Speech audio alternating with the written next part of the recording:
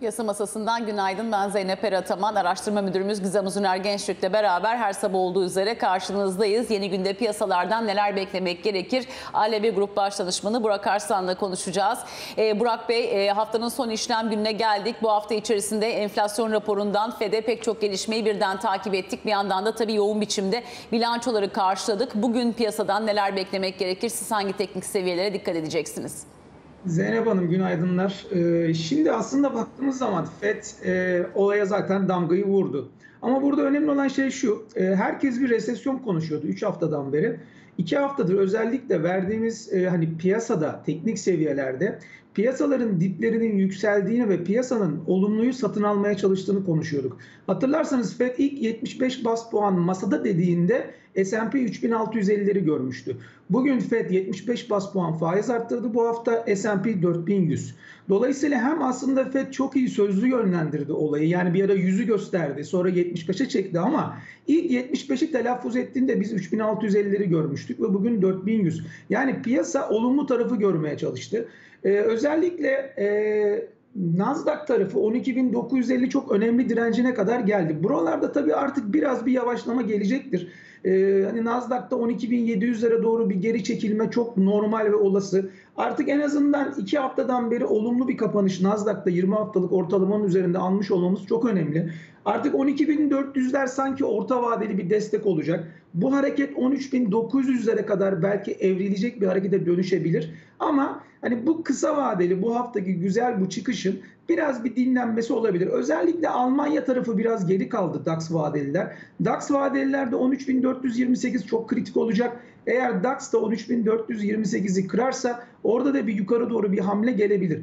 Bizim tarafa geldiğiniz zaman bizim tarafta şimdi dolardan başlarsak aslında dünyada e, sabah saatlerinde özellikle 106-200'ün altına kıran e, dolar endeksinin 105-600'lere geldiğini görüyoruz şu anda. USD zar tarafında Güney Afrika dolar paritesinde 17.30'lardan 16.50'lerin altına yani tepe noktalardan %5 düzeltmeler görüyoruz son 10 günde bütün dolar endekslerinde. Sadece Türkiye'ye baktığınız zaman 17.50'lerle başlayan hafta 17.90'lara neredeyse 18'lere dayanmış bir kur görüyoruz.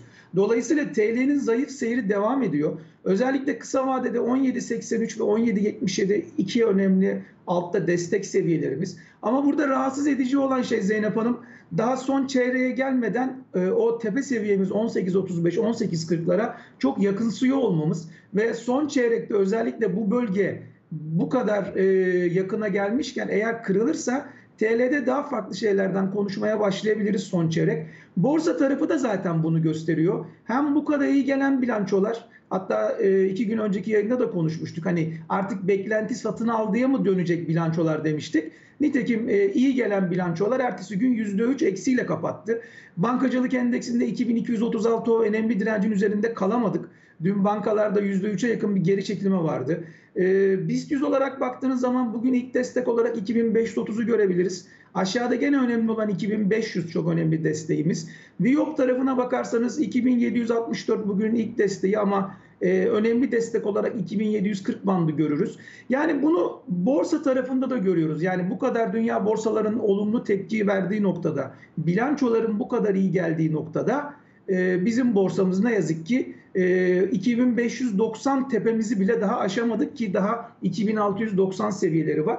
Dolayısıyla hem burada yabancının olmaması hem TL'nin zayıf seyri hem son çeyrekte neler olabileceğini çok fazla bilinmemesi borsa tarafındaki ne yazık ki bu bilanço döneminde bizim bu 2590 e, ilk direncimizi geçip geçemeyeceğimizi e, göreceğiz. Özellikle altın ve gümüşte çok güzel bir tepki geldi. Özellikle dolar endekslerinin e, yavaşlamasıyla beraber.